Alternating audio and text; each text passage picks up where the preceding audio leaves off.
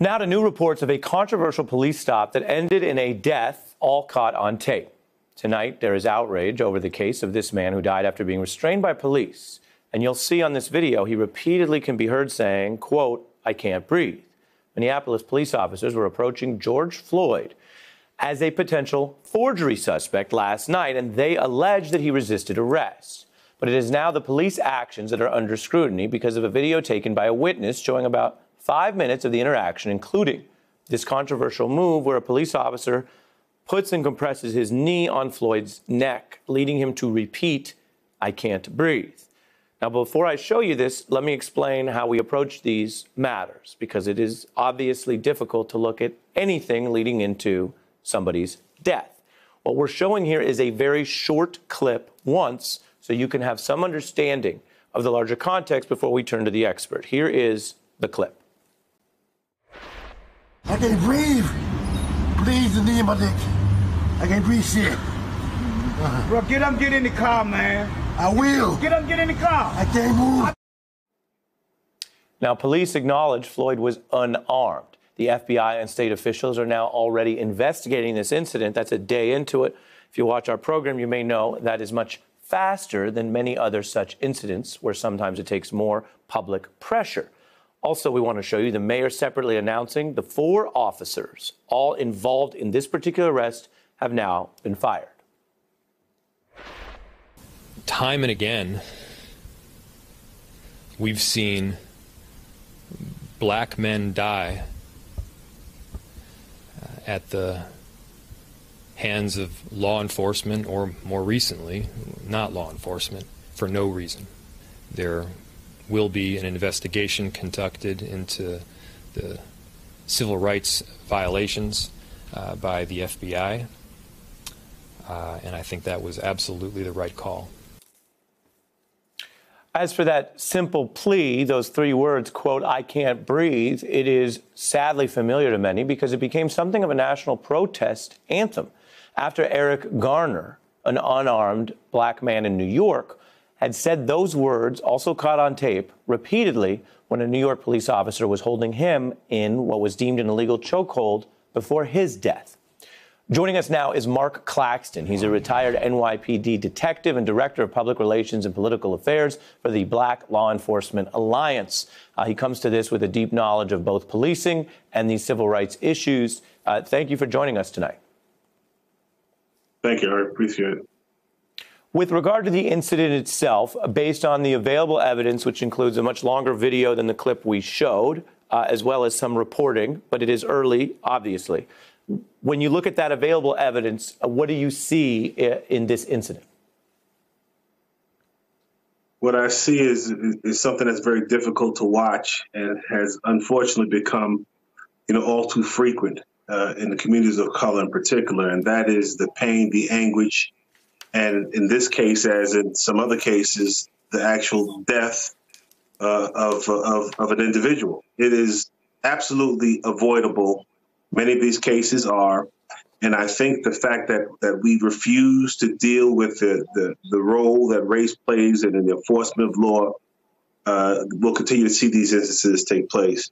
And justice is so far away for these families. There have been historical cases similar to this one uh, that kind of give us a blueprint and a guide as the uh, the eventual outcome, perhaps, of this particular case. But it's very painful. It's very troubling. Very difficult to watch. And there is more than just individuals. There is a community of individuals and, and, and civilians who who are are suffering behind it. Uh, at the practical level of police maneuvers, uh, we have seen these type of incidents. I mentioned the Garner case, um, where although this will be litigated, so I will say it very carefully, there is an allegation of deadly force. Uh, as you know, and I think viewers know, there is a larger legal process for determining cause of death, autopsy, et cetera. But an allegation of deadly force um, that comes out of techniques um, that are not supposed to be deadly, uh, a chokehold or a restraint, um, is obviously not supposed to be a method to uh, execute someone in custody. Let me read from the Minneapolis uh, policy on this for your analysis for our viewers to understand, because they define uh, the neck restraint as compressing one or both sides of the individual's neck with an arm or leg without applying direct pressure to the trachea, or airway. The guidance notes they shall not be used against subjects who are passively resisting. Um, as with all policing, this most of this is at the local level of rules and laws. Um, what can you speak to both the rules and whether they were followed and what's shown on the video? Uh, we have to be very careful here, and that is, and, and this is the opportunity really to, to, commend the response by Mayor Frey and uh, Chief Arradondo because what they realized and understood is that we can deal with the minutia of the specific rules and regulations as it relates to police use of force, etc. We can deal with some of the the, the fringe uh, areas of the law, or we could deal with what we actually saw with our own eyes and deal with this case and other cases like it on an emotional. Uh, a, a responsible way to, to really address the issue at hand. Because if we have a debate or a discussion about the inter, inter, intricacies of police tactics, et cetera, then we miss the point. The point. you, of, let me of, jump in though uh, and say, are you are you suggesting that legal or not, your concern is the restraint being discriminatorily used on this suspect when it wouldn't be used on a similar suspect, uh, a forgery suspect who might happen to look different?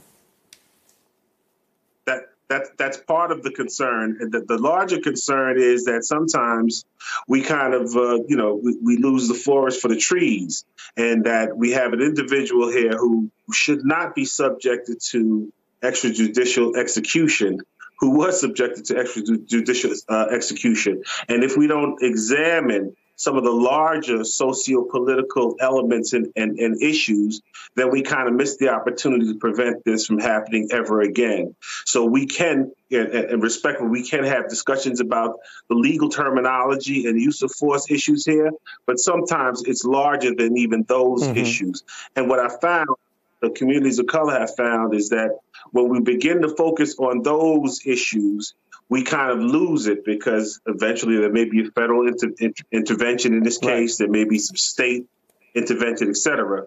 But what we want is justice in the sense of that no one should be subjected to this and no family should have to, to deal with this pain right. and no community should have to right. feel as if they are subjected to this time and time again. Marq Claxton, uh, thank you as always and appreciate your expertise on this. Hey, I'm Ari Melber from MSNBC. You can see more of our videos right here, or better yet, subscribe to our YouTube channel below. You could have been anywhere in the world, but you're here with us, and we appreciate that.